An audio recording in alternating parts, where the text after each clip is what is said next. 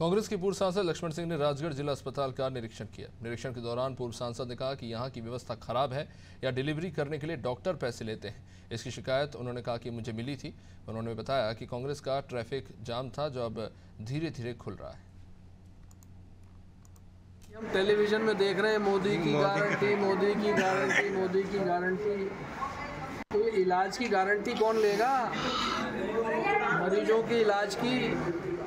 बेचारे लोग परेशान हैं प्राइवेट अस्पताल में पैसे दे दे के, दे दे के, दे दे के। इधर तो कहते हैं कि सरकारी अस्पताल में डिलीवरी होगी तो चौदह हज़ार रुपये हम बच्चा को देंगे। जच्चा बच्चा को देंगे। और यहाँ वो राशि देनी नहीं है। है नहीं राशि तो प्राइवेट अस्पताल को रेफर कर रहे हैं। जब नॉर्मल डिलीवरी हो सकती है तो प्राइवेट अस्पताल को क्यों रेफर किया जा रहा है?